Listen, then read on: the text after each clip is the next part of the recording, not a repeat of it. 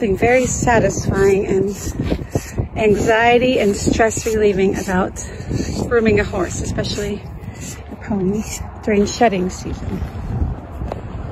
Having a typical, uh, I have a hard time on Mondays because Sunday I actually finally relax a little bit and then Mondays I feel anxious, super anxious. I think shifting back in.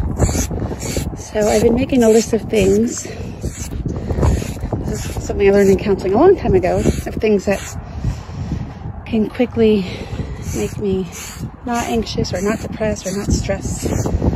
Grooming a horse is on the top of my list. So I know a lot of your moms out there suffer too, and you bring us your kids to have a great experience. But some of your moms, some of the moms that are watching this need some extra stress relief or anxiety or depression or whatever word you want to call it.